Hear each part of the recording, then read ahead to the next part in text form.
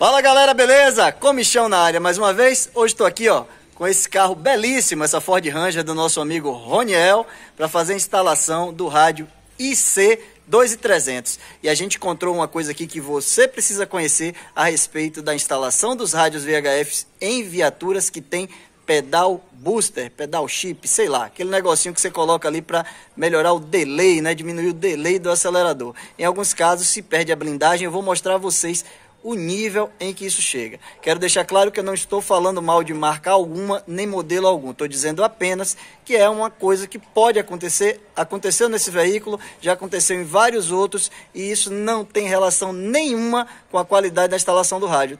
Tem a ver com a falta de blindagem no, é, no pedalzinho booster que se coloca ali. Quando você coloca um pedal desse, você acaba é, eliminando uma blindagem natural, original que vem ali no veículo para várias harmônicas né, de radiofrequência.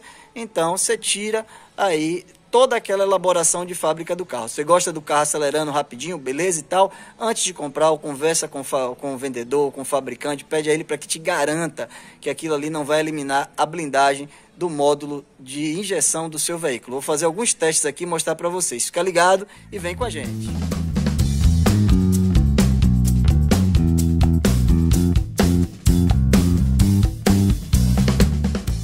Bom pessoal, essa aí é a super máquina estrela do nosso vídeo de hoje. Vou mostrar para vocês aqui onde nós instalamos a antena. Aqui entre o Santo Antônio e a Gabine, né? Conforme interesse aí do nosso cliente. Deu bastante trabalho, mas conseguimos ajustar. Deixamos aqui uma ROI bem baixinha.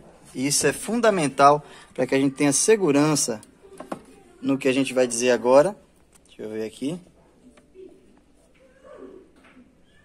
Aí, pessoal, 146 MHz, ROI de 1.1, tá bom? Tá aí, ROI bem baixinha. Aqui tá o equipamento de rádio preso dentro do porta-treco, beleza? Como eu falei, um IC é, 2300. Aqui embaixo a gente encontra o pedal booster preso ali no pedal de acelerador, ligado direitinho. E eu vou fazer um teste agora, pedir aqui a ajuda do, do amigo, tá? Para mostrar para vocês o que, que acontece. Vou reconectar aqui o cabo do rádio beleza? E volto já já. É isso aí, pessoal. Voltamos. Tá aqui o rádio. Quero que vocês prestem atenção no painel. Por favor, seu Paulo, o senhor liga pra gente. Pronto, ele vai dar partida. Como vocês viram aí, tá? As luzes apagaram. Beleza? Dê uma aceleradinha, por favor.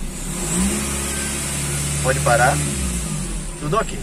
Agora eu vou pedir a seu Paulo para tirar o pé do acelerador. Ele vai tirar ali o pé do acelerador. E nós vamos aqui apertar o botão do PTT, tá bom? Deixa eu desligar aqui esse som, vai atrapalhar a gente. Olha o que, que vai acontecer. Apertei o botão do PTT para transmitir e ele já acendeu ali aquela luzinha que indica alguma coisa referente à derrapagem. A partir desse momento, olha que o carro começou a acelerar sozinho.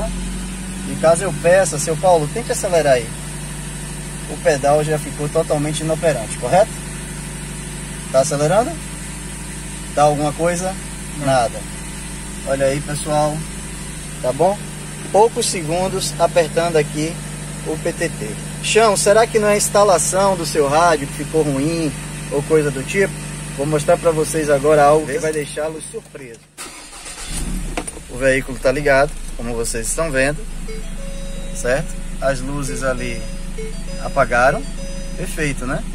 Tá aqui, ó, o HT. Eu vou transmitir aqui, vocês vão ver que imediatamente ele acende lá a luz do painel. Olha só. Já acendeu, tá bom? Se você deixar aqui mais um tempinho, vamos aguardar ver o que, que acontece, porque geralmente ele acelera sozinho. Olha aí, ó. E a partir desse momento, o pedal do acelerador fica inoperante. Aperta aí, seu Paulo. Pode acelerar. Nada, não é isso? Uhum. Pois é. Desligue, por favor. Com isso, pessoal, estou mostrando a vocês que um equipamento que não tem conexão nenhuma com o carro consegue gerar uma radiofrequência que interfere ali no funcionamento do pedal booster. Agora nós vamos remover esse pedal booster e vamos executar de novo esses testes para deixar bem claro que a questão aqui está relacionada ao pedal e não a necessariamente o uso do equipamento. Graças a Deus, o pedal é facinho de desligar. Como vocês estão vendo ali, trata-se apenas de um bypass. Ok? Nós desconectamos aqui as duas tomadas do bypass, de modo que esse pequeno módulo que vocês estão vendo aqui é o pedal. Ele está desligado, tá ok? E nós conectamos ali a tomada original do carro no sistema de acelerador conforme original. Então, a partir desse momento, ele não tem mais aí a atuação desse pedal booster, né? Que é um acessório que muita gente tem usado aí e acaba gerando esse tipo de falha, né? Essa perda de blindagem do sistema de acelerador. Vamos fazer novos testes agora e mostrar para vocês o comportamento do carro. Dessa vez eu não vou fazer o teste com HT, tá bom? Fazer o teste de fogo logo com o rádio, levando em conta que o rádio tem aí 50 watts, estou usando a potência máxima nele. Vou transmitir, vocês vão ver ali o sinal. Deixa eu ver se a gente consegue focar. Olha lá. Isso, o sinal indo ali até o final de escala. Vamos executar novo teste. Pedir a meu amigo que ligue aqui o veículo. Vamos esperar as luzes apagarem todas. Ok? Tenho aqui o microfone em minhas mãos. Vou operar com ele. Estou transmitindo como vocês estão vendo utilizando potência máxima e a gente não vê nenhum tipo de indicação luminosa no painel acendendo, tá? Peço ao seu Paulo que dê uma aceleradinha, ele acelera, enquanto isso eu opero, pode parar e não há nenhum tipo de interferência. O mesmo acontece, obviamente, quando eu uso o HT aqui, né? Se não, se não interferiu com o rádio base, com HT aqui não vai interferir mesmo, tá bom? Deixando aqui esse vídeo para vocês a título de informação, para que vocês conheçam como é o funcionamento desse sistema, para que vocês saibam desses detalhes, para que quando optarem pelo uso desse tipo de equipamentos, sempre conversem com o técnico que está ali vendendo, que está ali instalando esses acessórios, para tirar essas dúvidas, dirimir essas dúvidas e ter certeza de que você vai usar um equipamento que não vai lhe causar uh, nenhum tipo de dor de cabeça depois, valeu? Aquele abraço, obrigado a vocês por terem assistido. Deixa aí já aquele like, se inscreve no canal, deixa aqui seus comentários e até um próximo vídeo. Fui que fui, tchau, tchau!